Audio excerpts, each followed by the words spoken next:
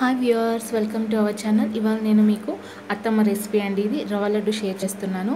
So ఇది actually చాలా టేస్టీగా ఉంది. మీరు కూడా ఇంట్లో ట్రై చేసి టేస్ట్ చేయండి.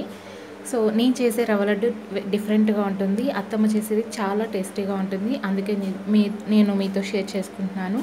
సో డ్రై ఫ్రూట్స్ మనకు కావాల్సిన డ్రై ఫ్రూట్స్ అన్నీ గీలో రోస్ట్ చేసి పెట్టుకోవాలి. ఇక్కడ జీడిపప్పు బాదం ఎండు ద్రాక్ష తీసుకొని రోస్ట్ చేసి పెట్టుకున్నారు. సేమ్ అదే ప్యాన్లోనే మిగిలిన రవ్వను కూడా వేసుకొని మనం ఎంత ఇక్కడైతే వన్ అండ్ హాఫ్ కప్ రవ్వకి వన్ కప్ షుగర్ తీసుకున్నారు. సో ఇక్కడ one and half cup cup rava తీసుకున్నారు. సో అది కూడా గీలో వేపుకున్న తర్వాత కొంచెం ఎలాచి దంచి వేసుకోవాలి. సో ఇక్కడ షుగర్ ఏంటంటే కొంతమంది పౌడర్ వేసి ఫైన్ పౌడర్ చేసేస్తారు. ఒక్కోసారి నేను కూడా అలాగే చేస్తాను. బట్ ఇక్కడ ఏంటంటే షుగర్లో కొంచెం వాటర్ వేసేసి మరీ పాకంలా కాకుండా కొంచెం మెల్ట్ చేసి థిక్గా అయ్యేంత వరకు పెట్టుకున్నారు.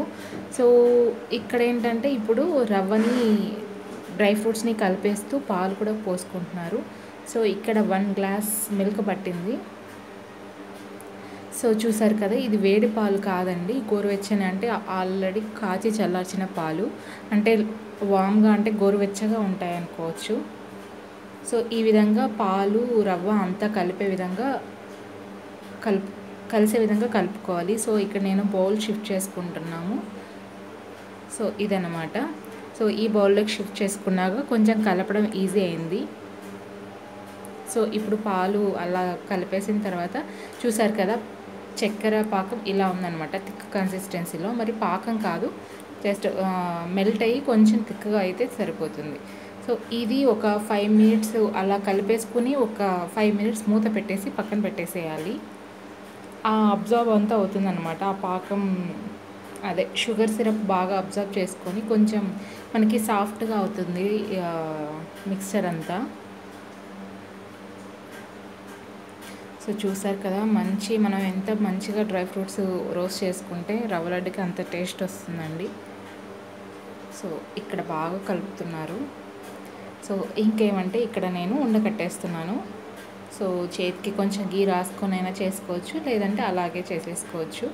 చూసారు కదా చాలా టేస్టీగా ఉన్నాయి. టేస్టీ టేస్టీ రవ్వ లడ్డూలు. ఇవి ఒక ఫైవ్ డేస్ వరకు నిల్వ ఉంటాయి అందరికీ తెలిసింది.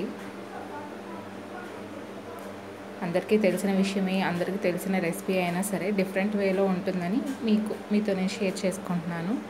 సో అత్తమ్మ రెసిపీ కదా మీకు కూడా నచ్చుతుందని అనుకుంటున్నాను. So thanks for watching my video and please like share and subscribe to my channel and నా లేటెస్ట్ వీడియోస్ కోసం పక్కనే ఉన్న బెల్ బటన్ని ప్రెస్ చేయండి.